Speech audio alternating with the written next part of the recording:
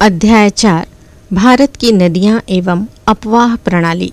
नदियों का उद्गम पर्वतीय क्षेत्रों, ऊँचे स्थानों, झील, झरने या हिमनद, ग्लेशियर से होता है।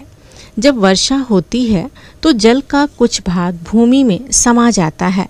अधिकांश जल पृथ्वी की सतह पर छोटी छोटी धाराओं के रूप में बहने लगता है।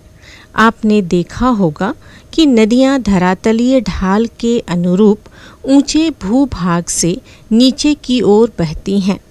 प्रारंभ में नदी की धारा पतली होती है, लेकिन जैसे जैसे अन्य सहायक नदियाँ मुख्य नदी से मिलती हैं, नदी में जल की मात्रा बढ़ती जाती है एवं नदी चौड़ी होती जाती है। धरातल पर बहने के अतिरिक्त वर्षा का कुछ पानी भूमि के अंदर रिसकर अंदर ही अंदर बहता रहता है। वहीं भूमिगत जल जल स्रोतों के रूप में पृथ्वी की सतह पर नज़र आता है।